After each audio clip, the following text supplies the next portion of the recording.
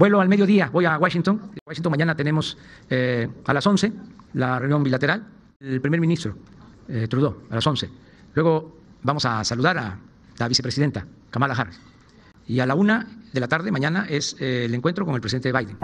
Y a las 4 de la tarde es la trilateral. Eh, eh, vamos a estar los tres para la evaluación del tratado. Ese es el programa. Ya descansamos allá y en la mañana regresamos para estar el viernes, al mediodía, de regreso a la Ciudad de México. Y el sábado, es 20 de noviembre, aniversario del inicio de la revolución, y vamos a estar en el desfile militar. No, no, no está, pero si sale eh, la conversación, pues también lo tratamos.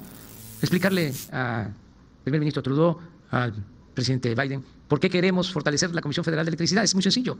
Lo que queremos es que no aumente el precio de la luz y que este, se termine con los abusos de las empresas particulares, sobre todo de las empresas extranjeras, y en especial, lo voy a decir, de las empresas españolas, a robar a otra parte. Entonces, ¿ustedes creen que me va a costar trabajo decirle esto al presidente Biden o al primer ministro Trudeau? Pues no. Ni modo que ellos estén este, a favor o protejan a corruptos.